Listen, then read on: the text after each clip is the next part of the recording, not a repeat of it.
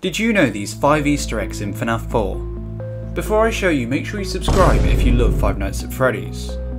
Okay, so the easter eggs are in a minigame, Purple Guy can be seen fitting someone into a spring Bonnie suit in the back room before closing the door.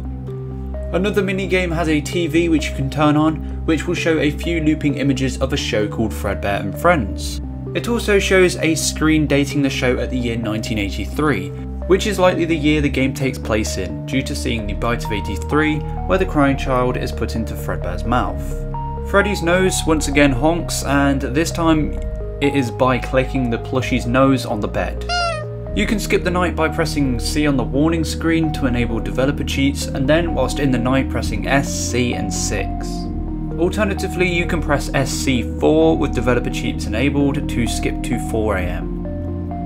Some of these are super rare so they may not have happened to you, but